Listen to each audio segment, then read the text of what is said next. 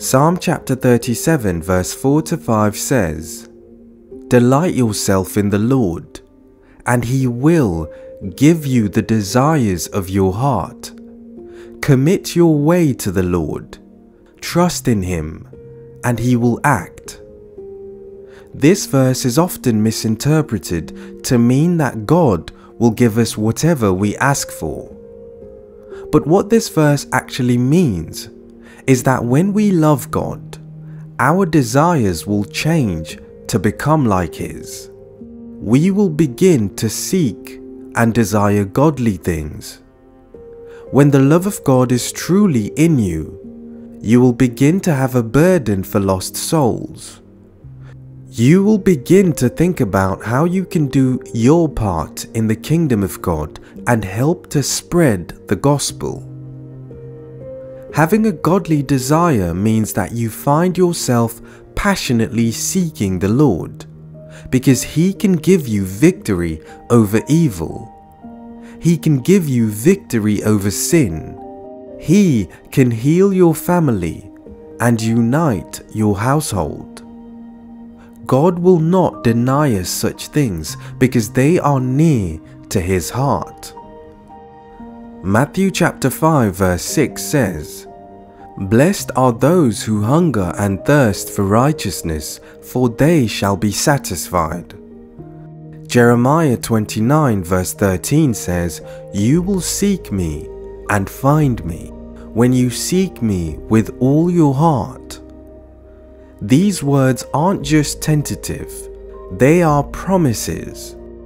No other pursuit on this earth comes with a guarantee.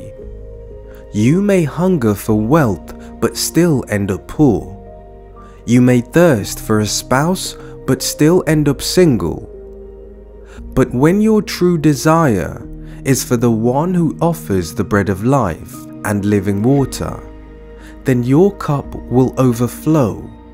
And so I encourage you to meditate on the words of David in Psalm 27 verse 4.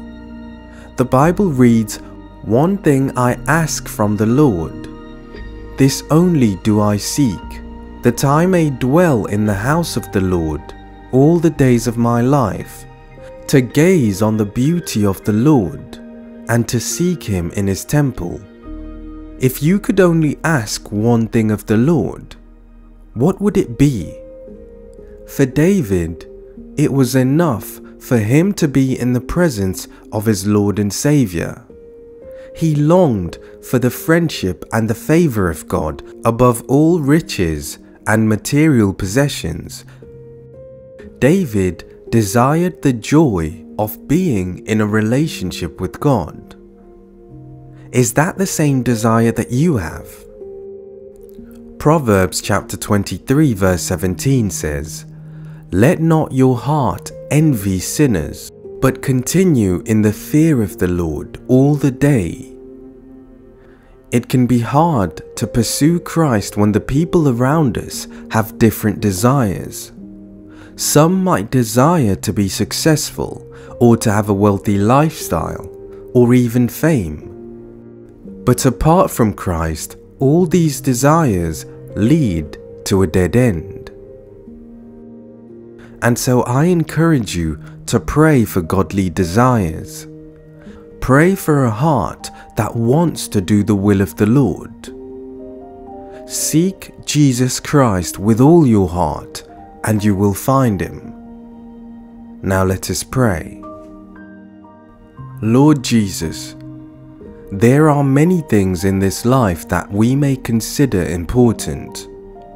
There are many things that we devote our time and energy into, thinking that they will bring us happiness, but all of them are worthless when compared to you.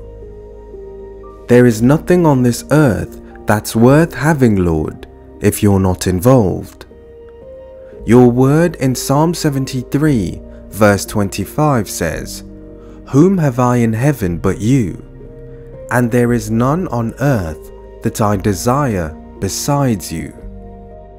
Father, every earthly desire that we have is insignificant and trivial in light of eternity. Help us, King Jesus, to have a desire to store up riches in heaven and not on this earth. All that is in this world is meaningless.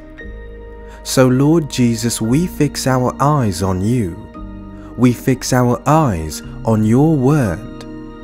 Let our passion be to follow your will. Teach us to love what you love.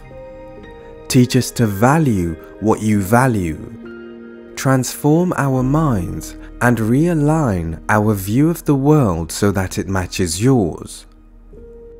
Lord Jesus, may the beauty of the gospel displace everything else in our hearts and move us into action. Remind us of the surpassing worth of Jesus Christ, and let that knowledge drive us to declare and testify about your goodness.